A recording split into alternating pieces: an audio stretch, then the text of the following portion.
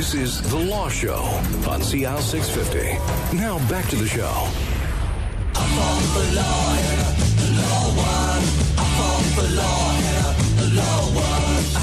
And welcome back to the Law Show on CL 650. Joe Murphy QC is a partner at Murphy Battista in downtown Vancouver. When did you start the law firm? When was that Uh, we established it, Zach, in January of 1982, and I remember that well because the interest rates then were 18 or 19 percent. Oh, wow. No businesses were starting out; they there were a lot of them closing. So it was it was a time, as I say, I recall well. uh, Nerve wracking. Uh, no, not not really, because I was fairly confident the firm would do well, because I already had a lot of clients, and th- that client base was increasing over time. So you had yourself and uh, Joe Battista, and how have you grown? Well, it started out with two lawyers and two secretaries, and we rented two little offices in a in a bigger office. Um, today we have twenty lawyers. We have about fifty five support staff. We're, we're actually in the same place we were in '82, but instead of having two offices and two secretarial bays, we have the whole floor of the building. uh, we also have a, an office now in Kelowna with three lawyers there. And uh, in January, we're opening up an office in Surrey with two lawyers. So you're we've in- gone from very small to much, much, much larger. And you're in the Scotia Tower downtown, right? Yes. Yeah. Very Since handy. 82. Wow, it's a good run. All right, so uh, that was formed. Your law firm was formed after ICBC came into place because it was the early '70s, wasn't it? 74. Yeah. So tell us about ICBC, the thought process behind it, and how you believe that it's it's good good insurance for us in British Columbia, but how it's changed. Well, Zach, I- was in law school in 1974 when ICBC was was created by the uh, then NDP government, and it was created on the basis that it would operate the insurance auto insurance industry in the province for everyone. The private companies were essentially told, "Listen, your business is over." There were a host of private companies a lot of people thought the government can't set up a crown corporation that's going to know what they're doing. Um, this is going to be a gong show. This is going to be a disaster. What ICBC wisely did is they hired all the senior claims people from all the companies Sure. that were closing down. They were moving away. So there was this large group of very knowledgeable, competent claims people that ICBC hired, and that was the management team that began, including claim center managers, claim staff. Um, so over time, ICBC, of course, has grown. The the um, business has grown, and I think today we have the best insurance system in North America. ICBC does a fabulous job of providing a good product at what I consider fairly reasonable price. They have consistent claim practices. That doesn't mean there aren't cases where uh, either me or some lawyer in my office is having a battle royal with an adjuster over some claim or problem. But it's a great system. So I I compare it to the private insurance companies we deal with, and we do, based on our clients getting injured outside BC or injured in BC, hit by say an Alberta or Washington State driver. It's a much better system. Um, what's happened over time is people. Okay, just before you go on, Joe, why uh, why is it better? It's better because the uh, there's consistency in the way claims are handled. The coverage through ICBC, including the optional coverage, has increased. We we have Zach the best insured cars in North America, and it's simply the awareness that people have that we've got this car insurance. We need to buy extra insurance. So if I go to Washington State, the average car is probably insured for two hundred and fifty thousand dollars. In BC, the average is about 1.4 million. We're aware of it. Um, we know it's fairly affordable, although I'm not saying it's it's it's not a lot of money. Um, so people have become aware of the need for that and the benefit for that. Now, what about uh, other provincially run systems like Saskatchewan? Is theirs as good as ICBC? Is it close? Saskatchewan started out uh, to be like ICBC. It was the SGIO, Saskatchewan Government Insurance Office, but their province decided some years ago to bring in a no fault system. So it suddenly became a system like WCB or WorkSafe, where if people were hurt, they were dealt with by a bureaucracy. Um, Zach, I don't meet people that come to me and say, "I had a work claim. I got I got hurt at work, and I'm happy by the way I was treated. In fact, it's the opposite. People are not happy about being treated in a in a bureaucracy where they don't have the chance of saying, "Okay, if I don't like what you're doing, I can go to an independent person." In the current system, it's a judge, and say, "You decide. You tell everyone what's fair." And that's in a no-fault system, you, Right. you're stuck with a bureaucracy.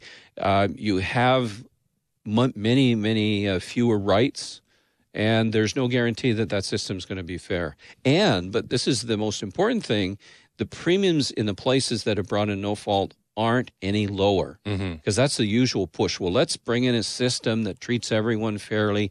Let's get rid of the lawyers, get rid of the courts, and we're going to save a lot of money. They haven't saved money. They haven't saved money anywhere in Canada where they brought in either full no fault or partial no fault. Joe Murphy is our guest from Murphy Battista in downtown Vancouver on the Law Show. Ontario, I moved just as No Fault was coming in in the early 90s. I moved here to British Columbia, and I've, I, I have friends and family, and the, and the rates they pay are so much greater than uh, we have here. Now, um, let's get into so that was the sort of pure vision of what ICBC was, and how has it uh, changed over the years? Well, when it was set up, Zach, it was based on the premise that it would operate operate at a break even basis.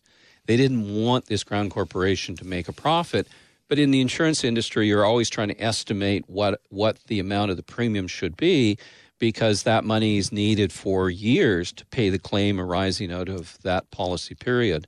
So there's always been a need to guess. In the insurance business, you have to set aside reserves. You have to put aside money that's going to be enough to pay the claims that are on the books. So IC and, and ICBC was going to be transparent. They they put out an annual report, and you can see what money came in and what money went out. And they actually publish a list of people they pay money to.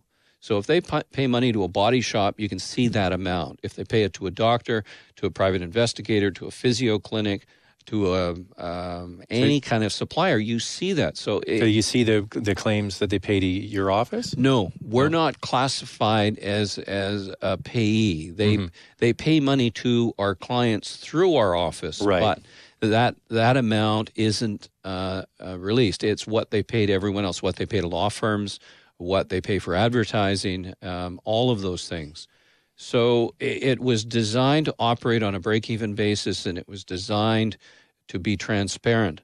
What's unfortunately happened over many, many, many years is that the government has begun, uh, has not even begun, the government has the ability to influence or pressure ICBC dealing with rate increases. So if ICBC one year said, we think based on our costs, we need to raise the rates two or 3%, the government has the ability to pressure them not to do that. I seem to remember in the '90s there was uh, that's really when it seemed to change. When there was, I remember there was rebate checks came back, and there was a whole bunch of uh, uh, sort of political gaming going on. That the the government of the day was using ICBC kind of like a like a like a piggy bank. They could raid and grab the money and put it into general coffers. So that was happening too, right? Well, yeah, what's happened, and this this is it over the last maybe decade or so, is the government has gone to ICBC um, and said, "You have some profit there. We want you to pay it to us to go into general revenue." Now, Zach, gen- revenue pays for our social services, it pays for education, it pays for hospital. So I, I'm not for a moment criticizing that these monies were used for that. Well, there's also but can be wasted. to be. Yeah, They but were- we also know there's a lot of waste in I know, government. I know. And if they kept it in in the insurance world, then they could just reduce rates. which is the way that was the sort of the policy and the premise that ICBC was established on. Since 2012, Zach, the government has taken approximately a billion dollars from ICBC. They, and that money uh, should have, I think, been applied to the claims, and it should have meant that our premium increases either don't happen or are less. But instead, the government has had the ability to draw out since 2012 that billion dollars.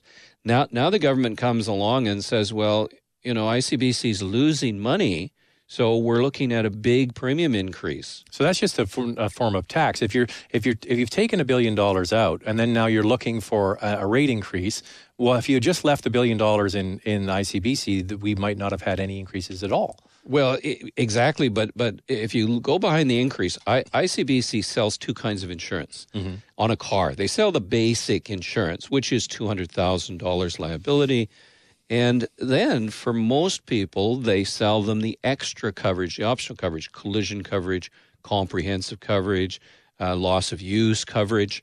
And what I what's happened is on the basic coverage, ICBC isn't charging enough.